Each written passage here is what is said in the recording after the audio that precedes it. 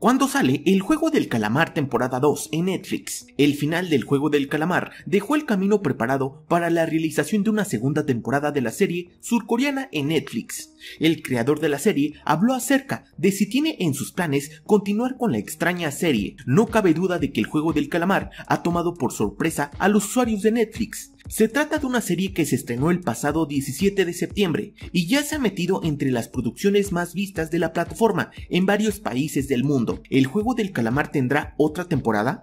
Hasta el momento, ni Netflix ni la producción han realizado anuncio alguno sobre el futuro de la serie surcoreana, pero por lo visto en el último capítulo es posible que el juego del calamar consiga una nueva tanda de episodios, siempre y cuando la respuesta de la audiencia se mantenga positiva. Eso sí, hay que recordar que el creador de la serie tardó una década en darle forma a esta historia y llevarla a las pantallas.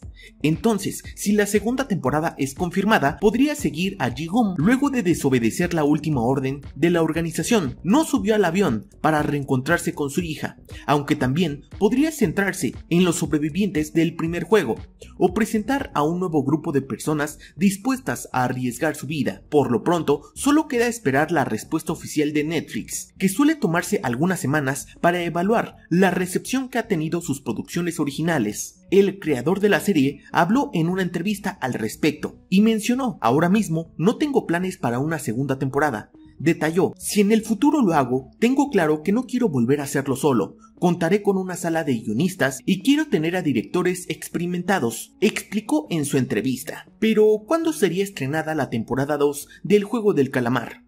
Si Netflix renueva el juego del calamar para una segunda temporada, lo más probable es que los nuevos episodios se estrenen a finales de 2022 o incluso en 2023, considerando que su creador tardó 10 años en darle forma a la primera entrega. No olvides dejar tu like y seguirme para más contenido.